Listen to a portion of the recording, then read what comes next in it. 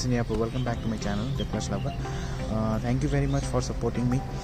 और um, तो आज की वीडियो है आज की वीडियो आज की वीडियो आज की वीडियो है एफ़ जी यूज़र्स के लिए यामा एफ़ जी यूज़र्स जो कि uh, जो भी जो कोई भी यामा एफ़ जी को टोरिंग पर्पज़ के लिए यूज़ करते हैं तो this video is specially for me ये वीडियो आज uh, धमाकेदार वाला यूनिक वीडियो है तो ये वाला वीडियो जो क्या है, इसमें एफ़ को फुल्ली लोडेड है विद टोरिंग एक्सेसरीज जो बाइक मैं आपको दिखाने जा रहा हूँ, ये बिलोंग करता है वन ऑफ़ माई फ्रेंड को जॉनी बाइकर को।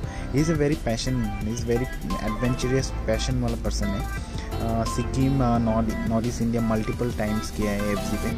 तो इसकी जो बाइक है फुल्ली लोडेड आई मीन क्या बोलूँ मैंने मज़ा ही है। आपको नहीं लगेगा कि ये बाइक देखने के बाद ये नहीं लगेगा कि एफ़ जी तो लेट्स टाइम वेस्ट नहीं करके लेट्स सी लेट्स आप वीडियो को रिव्यू देने से पहले आप ये सिनेमेटिक इन्जॉय कर लो।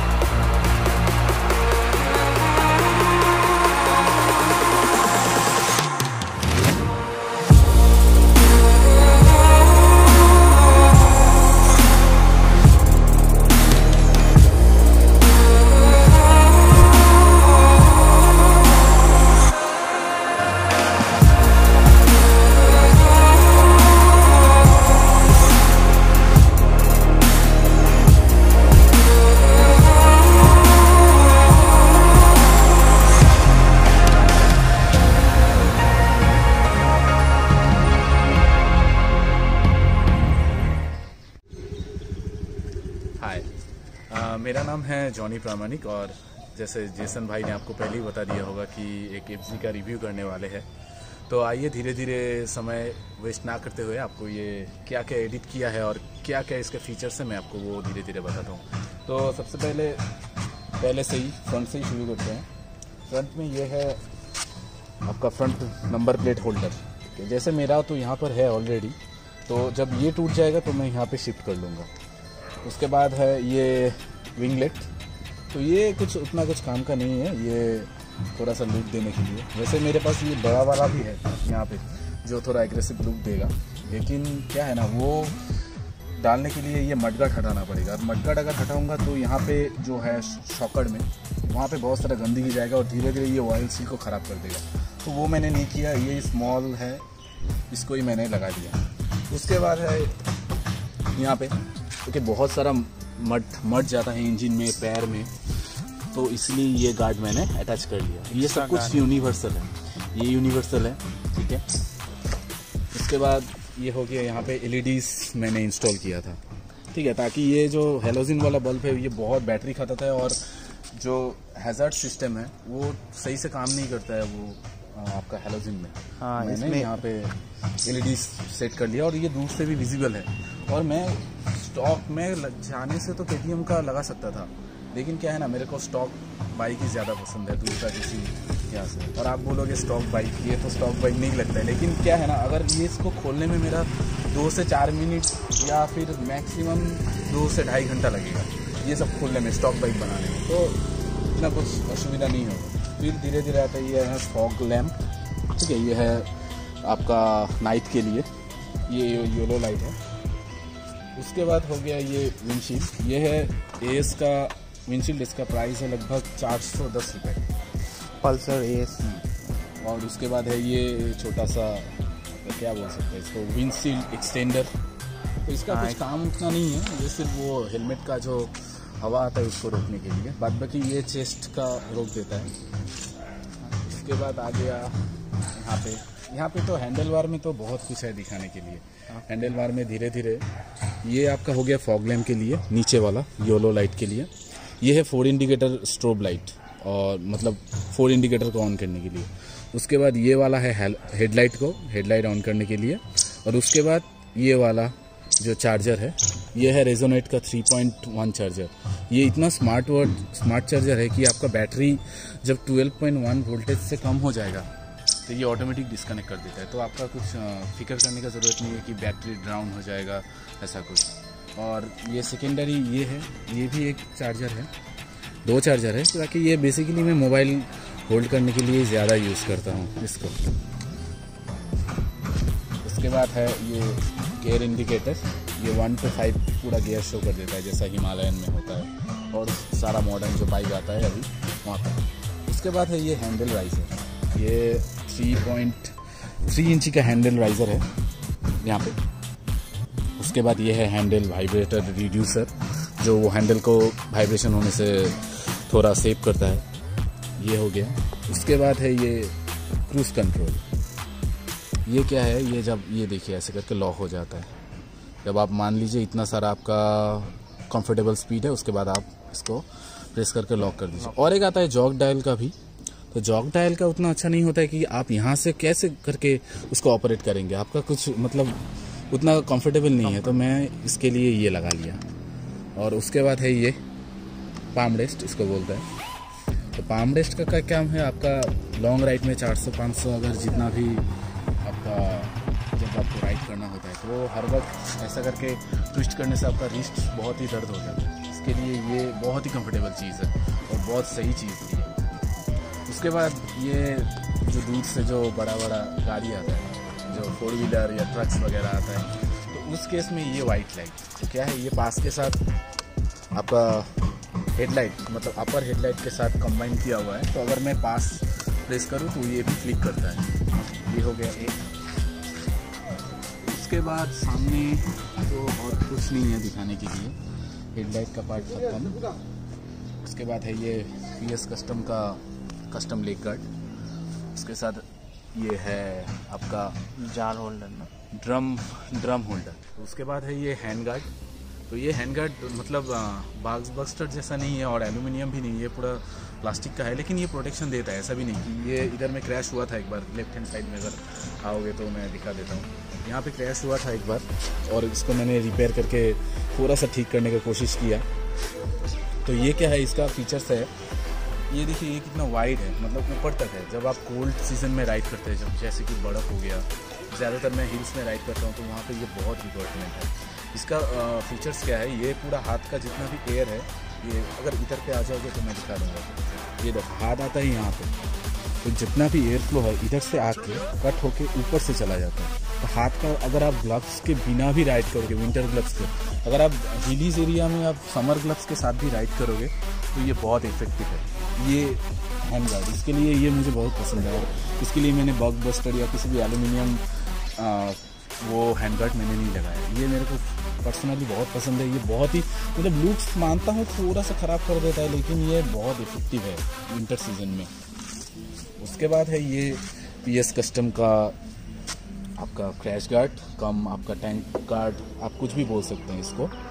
तो उसमें ये पी एस कस्टम का इतना गार्ड अच्छा है कि आप इसमें जेरिकन माउंट भी लगा सकते हैं। आप सोच रहे होंगे, ये वाइट ये क्या चीज़ है? ये है एक कस्टम मेरा खुद का डिज़ाइन किया हुआ आप बोल सकते हैं। इसका क्या फीचर्स है वो मैं आपको बाद बाद में बताता हूँ। लेकिन ये बहुत ही काम का चीज़ है। अगर आप जेरिकन माउंट कर, करते हैं तो आपको पता लग जाएगा इसका जेरिकन थोड़ा बहुत शेक करता है। लेकिन ये जो टूल है, ये वाइट कलर का, ये पूरा एकदम उस आपका प्रॉब्लम को पूरा सॉल्व कर देता है। तो वो मैं बाद में एक्सप्लेन कर देता हूँ। अगर आपको इसका डेडिकेटेड एक वीडियो चाहिए तो भाई का कमेंट सेक्शन में कमेंट कर देना, मैं आपके लिए ये वीडियो बना दूँगा। उसके बाद है ये फॉग लैम्प होल्डर ये अमेज़ोन में मिल जाएगा। अगर आपको इसका भी लिंक चाहिए या इसका भी कुछ इंस्टॉलेशन वीडियो चाहिए तो मैं वो भी आपको बता दूँगा। ये ऐसे डायरेक्टली इंस्टॉल नहीं होता है। इसके लिए आपको थोड़ा सा जुगाड़ करना होता है। एक रबर का ट्यूब चाहिए, ये रेड कलर का भी एक ट्यूब चाहिए, वो मैं आपको दिखा दूँगा। उसके बाद है क्या? मैं जब भी ज़्यादातर स्टेट में आपका फॉग लाइट जैसे इलीगल है। जैसा मेरा सिलीगुड़ी है मेरा घर तो यहाँ पे भी फॉग लाइट में केस दे देता है। आप जितना भी बोलोगे हेडलाइट का नीचे है, लेकिन फिर भी केस तो बनता ही है। तो इसके लिए ये है क्विक रिलीज़ मतलब क्विक रिलीज़ आपका मैकेनिज्म मैंने ये खुद से ही बनाया हुआ है। कितना आठ सौ नौ सौ का लाइट में आता नहीं है ये वाला। ये है एकदम प्लग एंड प्ले सिस्टम आपका बिल्कुल पाँच मिनट के अंदर अंदर आप लाइट को पूरा डिस्माउंट कर सकते हैं बाइक से। सिमिलरली ऊपर में भी ऐसा ही है। ऊपर, ये प्लग में भी अगर मैं ऊपर से खींचूँ तो कनेक्टर निकल आता है, ये दोनों भी खुल जाएगा।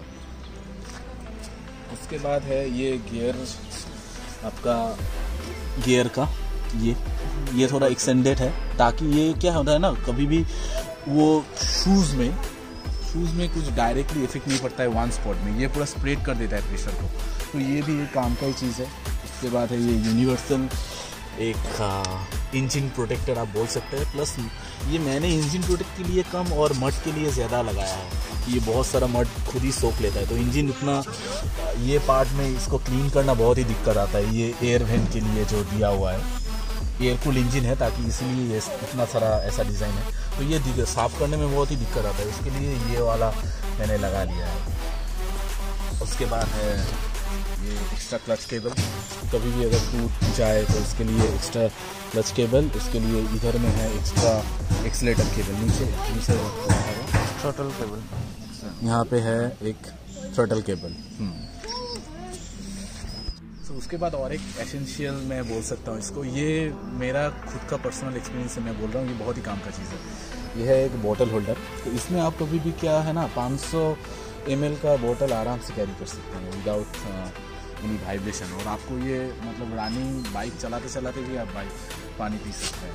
ये हो गया और एक। उसके बाद आ गया ये। जैसे आप देख सकते हैं, मेरा बाइक बहुत ही भारी हो गया है। इतना सारा मॉडिफिकेशन करने के बाद ये है आपका, क्या बोलता है इसको? एक्सटेंडर ये हो गया सरफेस एरिया बना देता हाँ, है हाँ। इसका काम है क्या इतना सारा मडी एरिया में अगर आप रखेंगे बाइक को तो ये बाइक को गिरने नहीं देता है। ये हो गया एक। इसके बाद तो यहाँ पर एक फ़ूड रेस भी मैं देख रहा हूँ। वो तो वाइट टेस्ट है। हाँ क्योंकि मेरा बाइक को चढ़ने में बहुत दिक्कत होता है तो इसके लिए मैंने ये लगा दिया। उसके बाद ये जो देख रहे हैं आप ये जो छोटा सा इधर से ये हो गया आपका गेयर इंडिकेटर का। मतलब गेयर इंडिकेटर यहाँ से काम करता है। अगर आप ऊपर में ऐसे डाउन करोगे तो ये सेंसर काम करता है। अगर आप अप करोगे तो नीचे वाला और एक सेंसर है यहाँ पे। हाँ जैसे एफजी पे स्टॉक गियर इंडिकेटर नहीं आता है तो हम्म। आपको गियर इंडिकेटर लगाना पड़ेगा फिर इधर में आप अपोजिट साइड में अगर आ जाओगे तो ये हो गया ये क्या होता है ना? एफ़ का पीछे का ब्रेक उतना अच्छा नहीं है। मतलब बहुत ही धीरे धीरे लगता है। तो ये अगर आप लिफ्ट कर दिया है मैंने थोड़ा सा तो ये क्या है ना प्रेस बहुत ही अच्छी तरह से होता है अभी, और ये ग्रिप भी देता है, बहुत ही बढ़िया से ग्रिप और ये पूरा सी एन सी एल्यूमिनियम का ही है। उसके बाद इस साइड भी हो गया आपका एक्सटेंडर उसके बाद है ये स्ट्रोब लाइट ये बहुत ही अच्छा चीज़ है, क्योंकि इंडिया में तो आप ट्रैफ़िक समझते ही होंगे। ये बहुत ही काम का चीज़ है, और इसका लाइट भी बहुत बढ़िया है इसका। उसके बाद है, यहाँ पे भी मैंने एक लाइट लाइट को चेंज किया है। ये भी स्टॉप करता है मतलब ब्लिंक करता है ऐसा ऐसा करके। तो ये दोनों मिलके पीछे का तो सेफ्टी बहुत ही बढ़िया हो जाता है।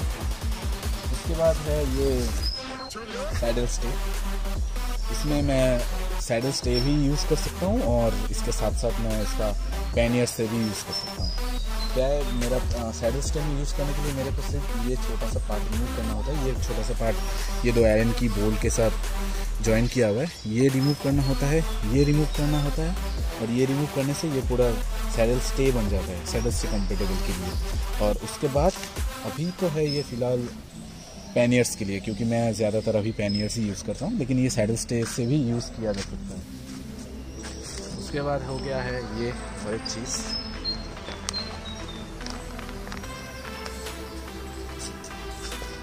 उसके बाद ये हो गया है टॉप रैक टॉप रैक यहाँ पे मेरे पास एक 48 लीटर का टॉप बॉक्स है। इसमें मैं ये माउंट करता हूँ। थोड़ी देर में वो दिखा रहा हूँ इंस्टॉल करके। तो और उसके बाद हो गया है ये एक सीट कवर तो ये थोड़ा सा अच्छा लगता है दिखने में स्टॉक के साथ। ये यहाँ पे सिल्वर का थोड़ा अट्रैक्शन गुड लुक देता है मेरे को।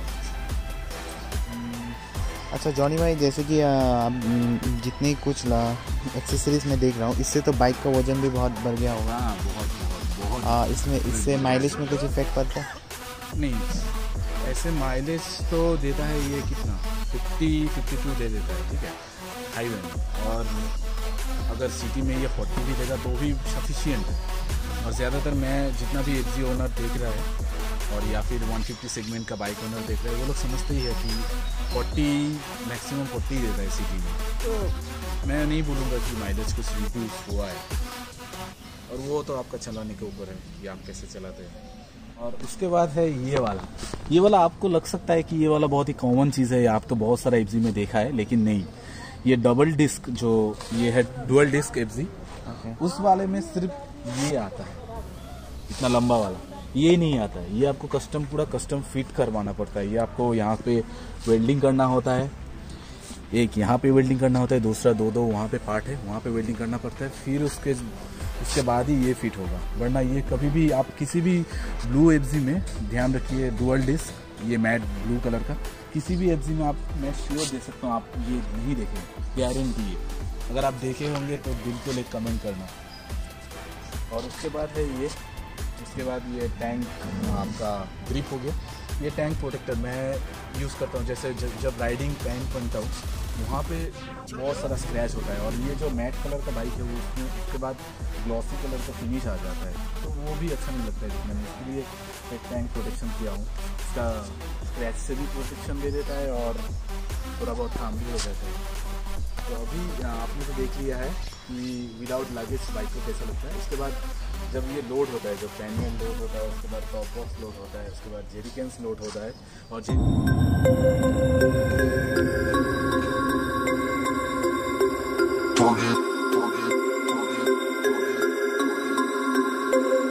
We got to turn it up.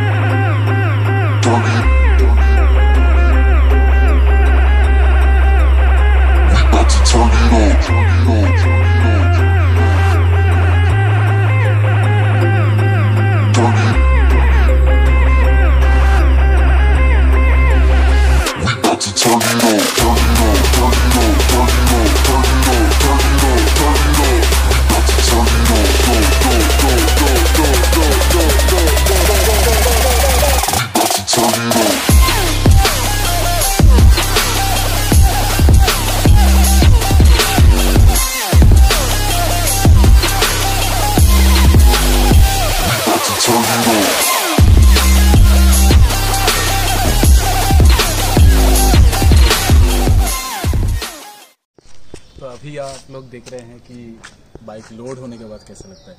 ये सारा कुछ बहुत ही एसेंशियल चीज़ है। हम्म, जैसे ये जेरिकन हो गया। ये जेरिकन ज़्यादातर वो वो जगह पे रिक्वायरमेंट होता है जहाँ पे पेट्रोल पंप नहीं है या तो फिर हिली एरियाज़ है और वहाँ पे बहुत रिक्वायरमेंट होता है। तो ये है फाइव लीटर्स का एक जेरिकन ये है पेट्रोल के लिए जो और उस साइड जो है वो वाटर के लिए। तो ये एकदम स्नक फिट है जैसे एकदम रिजिट जैसे हिलता भी नहीं है, थोड़ा सा भी नहीं हिल रहा है। क्यों नहीं हिल रहा है? यहाँ पे एक छोटा सा ये देखिए, यहाँ पे एक वाइट कलर का एक टूल लगाया हुआ है ये कस्टमाइज़ किया हुआ है मैंने खुद ही। अगर आपको इसका रिलेटेड एक वीडियो चाहिए तो बोल देना। मैं दिखा दूँगा कि कैसे बनाना पड़ेगा और कैसे इसको डिज़ाइन करना पड़ेगा, उसके बाद कैसे फिट करना होगा। उसके बाद हो गया इस साइड पे सेम ही है। एकदम ज़ीरो वाइब्रेशन कुछ भी वाइब्रेशन नहीं होता। बस एक छोटा सा टूल की वजह से। तो फिर जो लोग ड्रम आप लोग यूज़ करते हैं, उन लोग को पता होगा कि आप जितना भी ऐसा टाइट करो, थोड़ा सा तो हिलता ही है। वहाँ से ही साउंड शुरू होना स्टार्ट हो जाता है और वो आपको बहुत इरीटेट लगता है। छोटा सा भी, छोटा साउंड भी इरीटेट कर सकता है आपका 200 300 400 किलोमीटर का राइड में। उसके बाद हो गया ये सोलेस का टैंक बैग इससे पहले मेरे पास राइनोक्स का ऑप्टिमस टैंक बैग था।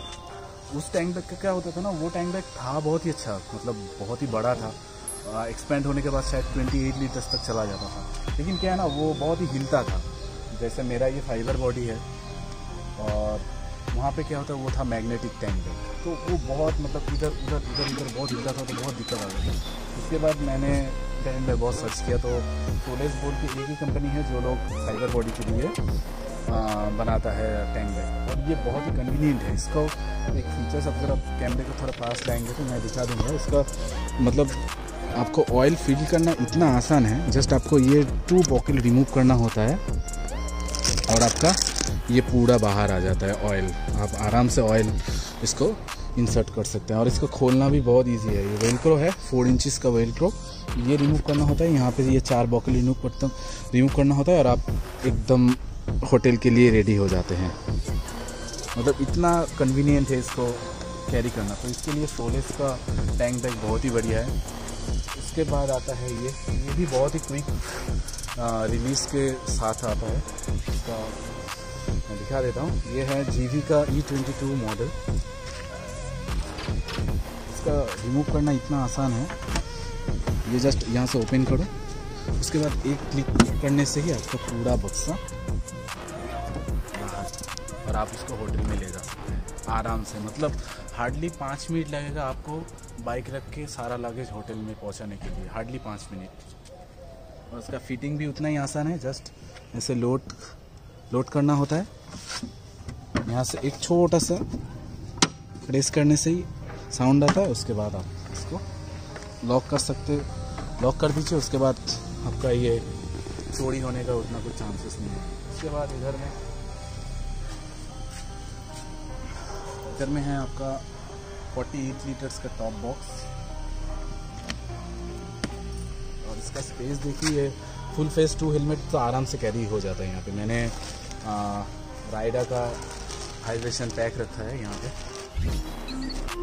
और ये सारा फोम का काम किया है कि बहुत हिलता है क्योंकि ऊपर में बहुत अगर आप सामान कैरी करोगे जैसे यहाँ पे मैं क्विक क्विक जो सामान मेरे को बहुत ही जल्दी चाहिए, जैसे रेन कोट हो गया, फिर गाड़ी का कुछ पेपर्स हो गया, वो सब मैं यहाँ पे कैरी करता हूँ। तो उसमें जर्किंग में थोड़ा सा साउंड आता है तो इसके लिए पूरा फोम तो आपका सामान भी बढ़िया से रहता है और कुछ साउंड भी नहीं आता। ये भी बहुत ही क्विक रिलीज़ मेकेनिज़्म में ही है। आप अगर कैमरे को पास में लाइएगा तो मैं दिखा दूँगा। यहाँ पे एक छोटा सा नट है, इसको आपको घुमाना पड़ता है। हाँ दिख रहा है ना? हाँ। यहाँ पे ये घुमाने से ही आपका पूरा डिस्काउंट हो जाता है, ये पूरा सिस्टम तो आपका हार्डली पाँच मिनट लगता है, इसको पूरा खोलने में। बस इतना ही तो था।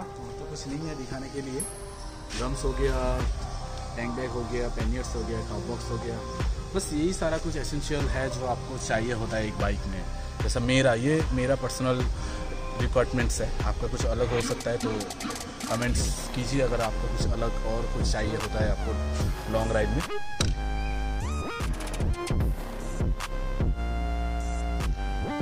रिकॉर्ड अच्छे तो? तो जैसे देख पा रहे हैं, ये अभी ज़ीरो में है। ठीक है? अगर मैं इसको ऑन करूँ। अगर मैं यहाँ पे वन गियर डालूं तो देखिए वन हो जाएगा। ये देखिए वन हो गया। उसके बाद टू अगर करूँ, देखिए टू थ्री फोर फाइव ऐसे ही करके आपका गियर काम करता है। ठीक है? आप नहीं है ठीक ये देखिए, ये आपका पूरा लाइट ऐसे ही नहीं है। ये पूरा लाइट यहाँ पे जलेगा भी फॉग लाइट के लिए। तो ये बहुत ही एक कूल चीज़ है। इंडिकेटर के लिए भी सेम इंडिकेटर के लिए भी ऐसे ऐसे करके ब्लिंक करता है। इंडिकेटर का देखो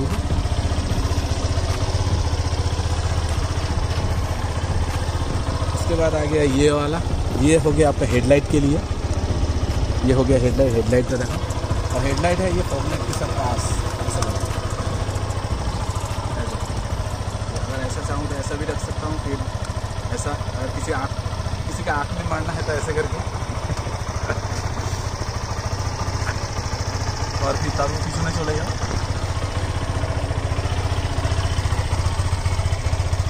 फ़िलहाल तो जब इसको आइडियल पोजीशन में रखूँगा तो ये लाइट ब्लिंक नहीं करता है। ठीक है? जब भी मैं इसका ब्रेक प्रेस करूँ उसके बाद पूरा ये ब्लिंक करता है।